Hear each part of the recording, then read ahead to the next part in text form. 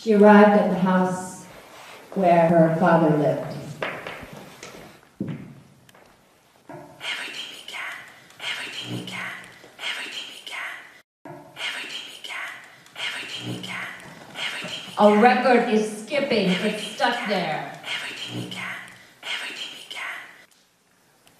Everything began when Mr. Marcos Diaz, who had the biggest shop in El Mozote, We know what it is, but we don't quite want to do it in the way that we're going to hear about it in the testimony later on. So This process has been like putting a puzzle together where there's like five different puzzles in the same box. Uh, The playwright himself didn't really know exactly where the testimony would go or how, and it could be a program note, it could be anything. And so I feel that we have, I, we have embraced that confusion physically. So it's, it's kind of been finding a way to, to work with clarity of a certain kind um, that, that, that isn't too clear.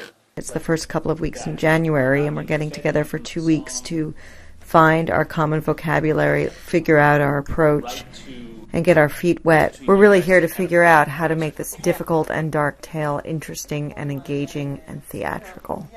What it's meant is there's been this great exploration, incredibly freeing about sort of exploding a particular moment emotionally, and it's allowed for it to get very tender and for it to get very uh, messy and violent to express uh, this unimaginable experience. There's a whole lot of words, and those words evoke some images, but they also evoke musicality. And the thing that I feel really great about what we've done is we, we understand why there's a broadcaster, not a cashier, not a you know bus driver, a broadcaster. Like we understand why that because we found that you need the musicality to tell this story. So even where there it doesn't say that there should be a song, there's a song. The animals suckle each other, fascinated by the light. Women.